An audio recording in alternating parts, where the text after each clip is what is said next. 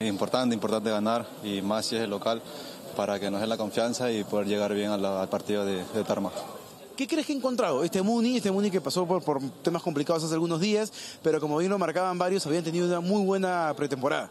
Sí, sí, sí. De hecho que hicimos un buen sacrificio en la pretemporada y creo que eso se ha visto reflejado en el partido de Arequipa y hoy.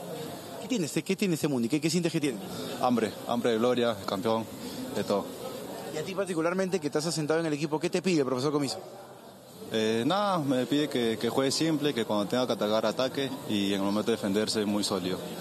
Hoy por hoy en algún momento Rotse se te pasó por la cabeza que podía llegar el empate de Binacional porque estaba ahí metiéndole. Sí, sí, sí, de hecho que sí, pero gracias a Dios este, subimos manejar bien el partido, pudimos cubrir los espacios y, y podemos este, obtener la victoria.